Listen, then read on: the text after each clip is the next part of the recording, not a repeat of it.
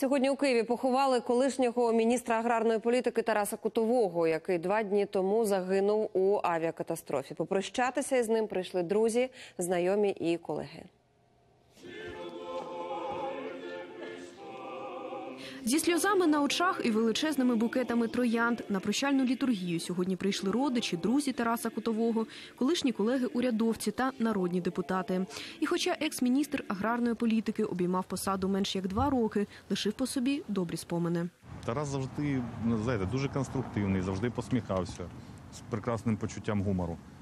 І ну, людина, яку всі колеги і поважали, і цінували, і ми завжди контактували, незалежно від чого. Дуже велике співчуття е, родині, мамі, ви бачите, рідні, близькі. Це просто непоправимо. І ну, те, що, те, що відбулося, просто не вкладається в голову. Але Ми вже нічого не можемо змінити, не можемо його повернути. Єдине, що м- можемо його пам'ятати таким, яким він був. А він був дійсно такою світлою, дуже позитивною людиною, конструктивною, неконфліктний. Взагалі, хороший, прекрасний чоловік. Він вмів дотримувати власне слово. Він працював і був дуже зацікавлений в розвитку сільського господарства і щиро вболівав за справу, яку він робить. Я вважаю, що це жахлива трагедія, що такий молодий чоловік е, через е, ми ще не знаємо е, з яких причин, от але загинув. Трагедія сталася 21 жовтня у понеділок. Тарас Кутовий летів власним вертольотом. Ліцензію на кермування гелікоптером отримав лише цього року.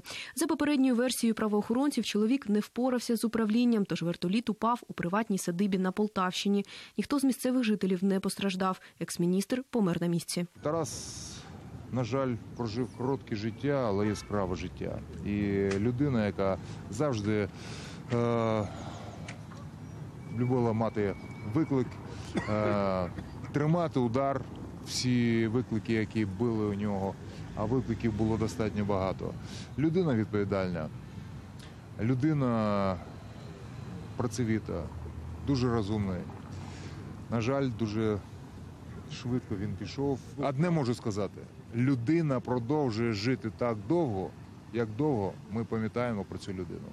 І Тарас продовжує бути з нами. Колишньому міністрові аграрної політики було 43 роки. Лариса Зубенко, Василь Сініцин. Подробиці телеканал Інтер.